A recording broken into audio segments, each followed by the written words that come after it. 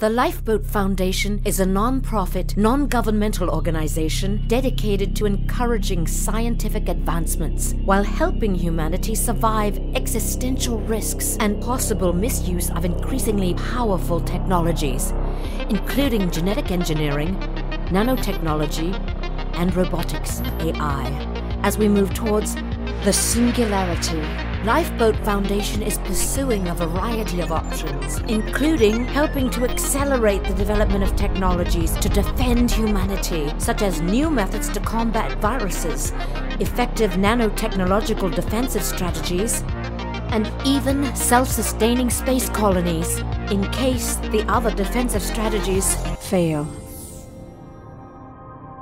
Watch our videos below.